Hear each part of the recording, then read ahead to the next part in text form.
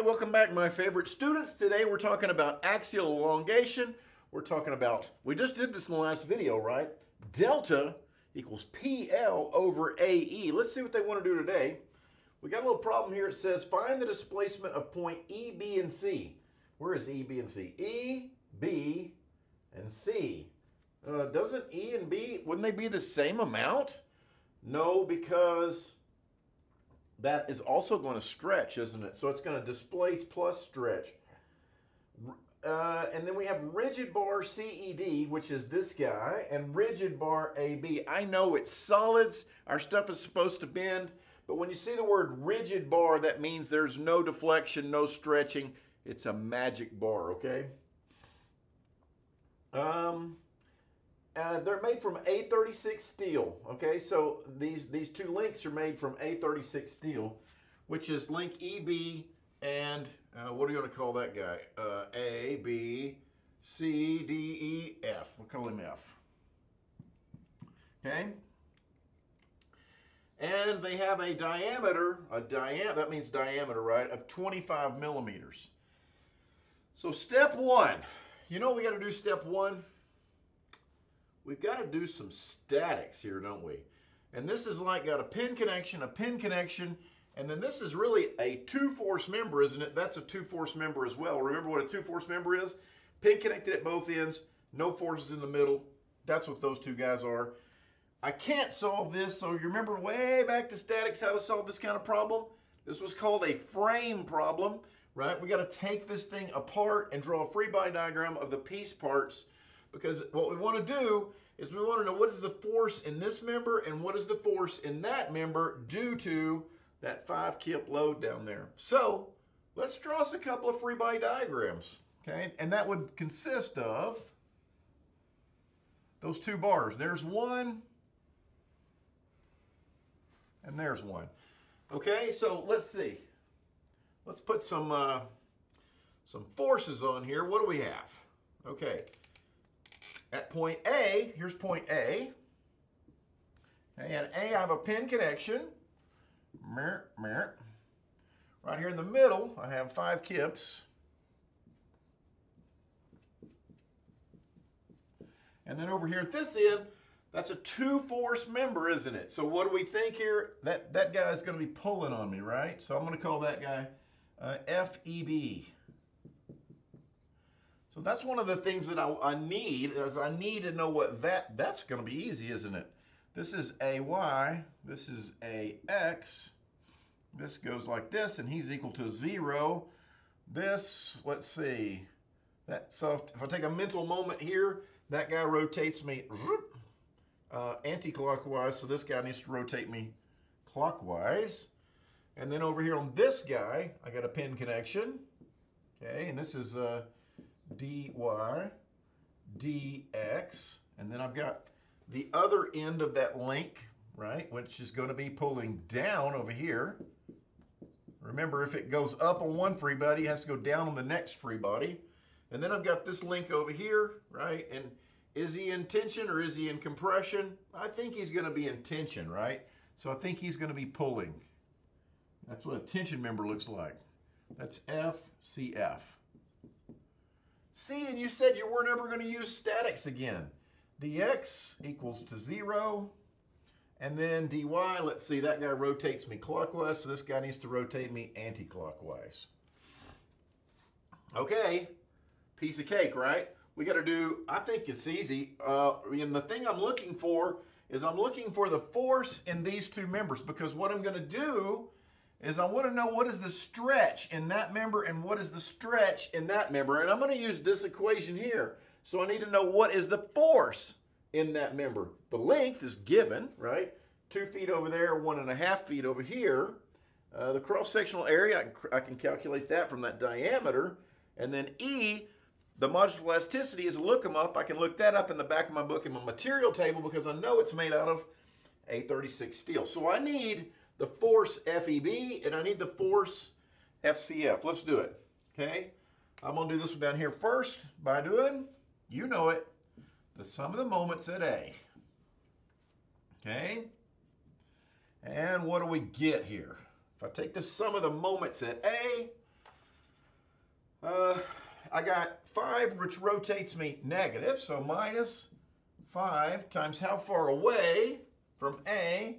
It's 6 feet. Okay. And then this guy rotates me positive, so plus FEB times how far away from A? 12 feet. Okay. Um, let's see. I can divide both by 6, can I? Whoop, whoop. That turns into a 2. And so move the 5 to the other side and divide it by 2. FEB equals 2.5 kips. Okay? So this guy, 2.5 kips.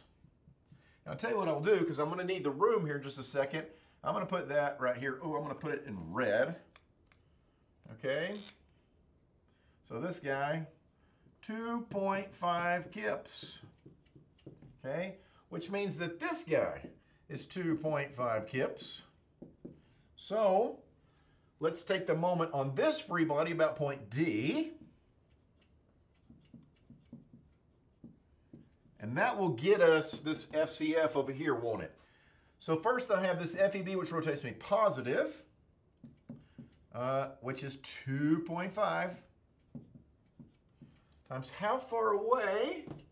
Two feet and then minus FCF times, how far away is that guy from, from point D?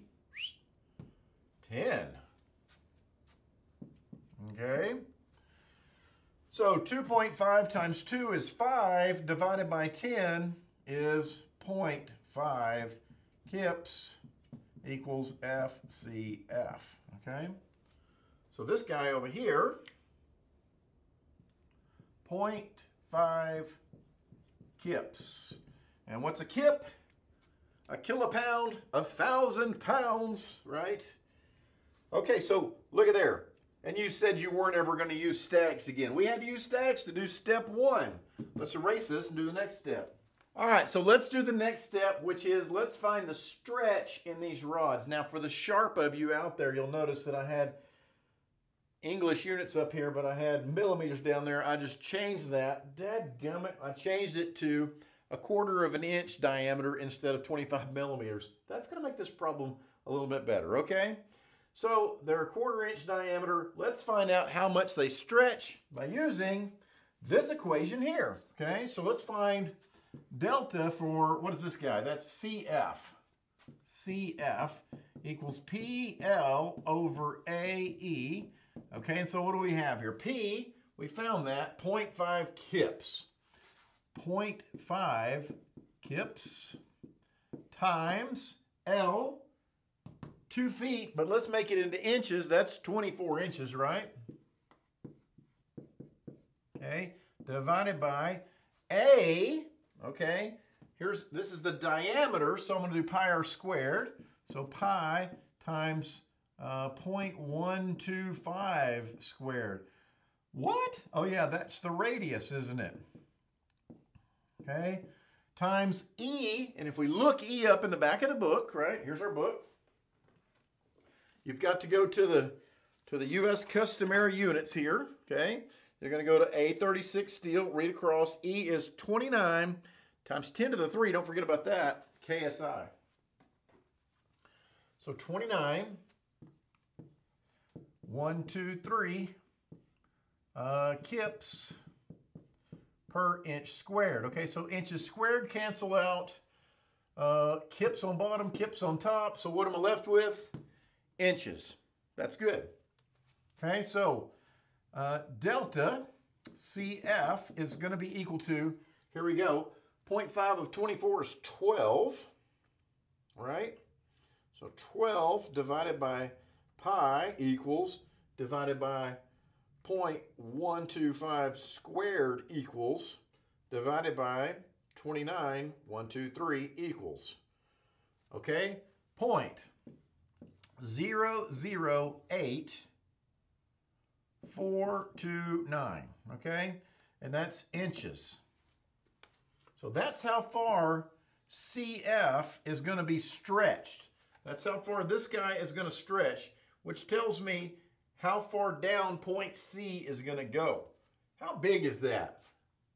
Okay, if you pulled one of your hairs out and you put a mic on that and you measured the diameter of a human hair, it's about 0.007 to 0.008. So that, that, just the magnitude of that is about the, the width of a human hair, okay? So it's not a lot, is it? Okay? What about the stretch in this guy? That's EB. So delta EB equals, same thing, PL over AE, okay? Well, P for this guy is 2.5 kips. Okay, L is uh, one and a half feet, which is uh, what, 18 inches? Okay. Divided by the same A, pi times 0.125 squared, times the same E, 29,000.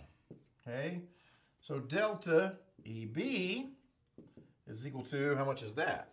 2.5 times 18 equals divided by pi equals divided by 0.125 squared equals, and then divided by 29,123 equals, ooh, point zero three one six one. okay? So that's about 31 thousandths of an inch where this was 8 thousandths of an inch, okay? So this was going to deflect uh, quite a bit more than the other one, right? Almost four times as much. Why? Well, number one, it's, uh, it's got a lot more load on it, right? It's got five times the load on it, doesn't it? Okay, so we know how much they're going to deflect. So the problem says um, find the displacement of each point, okay? So each point is going to move down. Okay, so, and here's how we can do that. So this bar here is going to be down here, isn't it? Okay, so this point here is going to drop some. And you know what we can do? We can use a little similar triangle here, right? So we've got this similar triangle that looks like this. Okay, do we know how much this thing is going to drop over here on this end? Yes, that much right there. Point zero zero eight four two nine okay? And we want to know how much this little guy over here is going to drop. Well, this is 2, this is 8, so we could do this, couldn't we? Um, 10 is to 0.008429 as 2 is to y. We'll call this little value right here y, okay? So what does y equal? It equals, um, let's see, 0.008429 times 2 divided by 10. Point zero zero one six eight five eight. Okay? And what is that? That's the displacement of point E. Boop. Point E is going to move down that far, right? This is displacement of E, okay? The displacement of C, right? Displacement of C is this. Displacement of C is equal to 0.00849 downwards, right? We could do this downwards, downwards, okay? And we got one more, and what is the displacement of point B? Well, displacement of point B is this little distance here, which is that, plus the amount that it's going to stretch, which is that, right? So, um, displacement of point B downwards is going to be equal to, here we go, um, 0.03161, that's this guy, plus that guy, right? So plus 0.001858 equals, well, that point is going to displace down Point zero three three four six eight inches. Okay? So there you go. There's a point E, C, and B. Is that all the asks us about? E, C, and B. Yes. Okay? So does it make sense? We had a little statics problem. We got a little axial elongation, right? And then we had a little similar triangles to find out how much those, those points displaced. So, hope that makes sense, and I'll see you on the next video.